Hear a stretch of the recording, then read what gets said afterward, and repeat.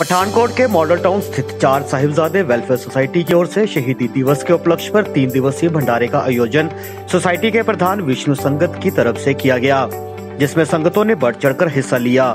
मौके पर बताते हुए सोसाइटी सदस्यों ने बताया कि शहीदी दिवस के उपलक्ष्य पर यह भंडारे का आयोजन किया गया है। उन्होंने कहा कि हमें अपने गुरुओं की कुर्बानियों को हमेशा याद रखना चाहिए और उनके द्वारा दिए संदेशों पर अमल कर अपना जीवन सफल बनाना चाहिए। ਵਾਹਿਗੁਰੂ ਜੀ ਕਾ ਖਾਲਸਾ, ਵਾਹਿਗੁਰੂ ਜੀ ਕੀ ਫਤਿਹ। ਕਾਰ ਸਾਹਿਬਜ਼ਾਦੇ ਵੈਲਫੇਅਰ ਸੁਸਾਇਟੀ ਵੱਲੋਂ ਇਹ ਜੋ ਤਿੰਨ ਰੋਜ਼ਾ ਲੰਗਰ ਆਲਟਨ ਚੌਕ ਦੇ ਵਿੱਚ ਲਗਾਇਆ ਗਿਆ ਹੈ ਮੈਂ ਸਮਝਦਾ ਕਿ ਕਿ ਇਹਨਾਂ ਨੇ ਬਹੁਤ ਵੱਡਾ ਉਪਰਾਲਾ ਕੀਤਾ ਹੈ। ਇਹ ਸਾਡੇ ਬੱਚਿਆਂ ਨੂੰ ਆਉਣ ਵਾਲੀ ਪੀੜ੍ਹੀ ਨੂੰ ਇੱਕ ਸੇਧ ਦੇਣ ਦੀ ਜ਼ਰੂਰਤ ਹੈ। ਇਹੋ ਜਿਹੇ ਉਪਰਾਲੇ ਜਿਹੜੇ ਆ, ਇਹ ਸਾਡੇ ਬੱਚਿਆਂ ਨੂੰ ਸੇਧ ਦੇਣਗੇ। ਚਾਰ ਸਾਹਿਬਜ਼ਾਦੇ ਗੁਰੂ ਸਾਹਿਬ ਦੇ ਮਾਤਾ ਗੁਜਰ ਕੌਰ ਜੀ, ਉਹਨਾਂ ਦੀ ਯਾਦ ਦੇ ਵਿੱਚ ਇਹ ਲੰਗਰ ਪਿਛਲੇ ਸਾਲ ਵੀ ਲਗਾਇਆ ਗਿਆ ਸੀ, ਇਸ ਸਾਲ ਵੀ ਲਗਾਇਆ ਗਿਆ ਹੈ। ਔਰ ਮੈਂ ਸਮਝਦਾ ਵਾਂ ਕਿ ਆਉਣ ਵਾਲੇ ਸਮੇਂ ਦੇ ਵਿੱਚ ਵੀ ਇਹ ਸੁਸਾਇਟੀ ਜਿਹੜੀ ਹੈ, ਇਹੋ ਜਿਹਾ ਉਪਰਾਲਾ ਕਰਦੀ ਰਹੇਗੀ।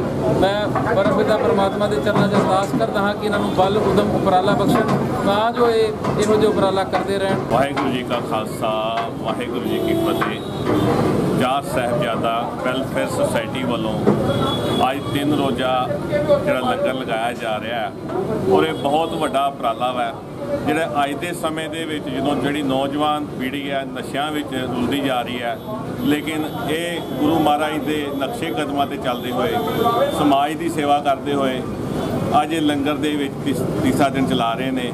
ਔਰ ਕੱਲਾ ਸਿਰਫ ਲੰਗਰਾਂ ਦੇ ਵਿੱਚ ਹੀ ਨਹੀਂ, ਹੋਰ ਸਮਾਜਿਕ ਕਈ ਕਾਰਿਆਂ ਦੇ ਵਿੱਚ ਇਹ ਸੁਸਾਇਟੀ ਕੰਮ ਕਰ ਰਹੀ ਹੈ, ਆਪਣਾ ਵੱਧ ਚੜ੍ਹ ਕੇ ਹਿੱਸਾ ਸਹਿਯੋਗ ਦੇ ਰਹੀ ਹੈ।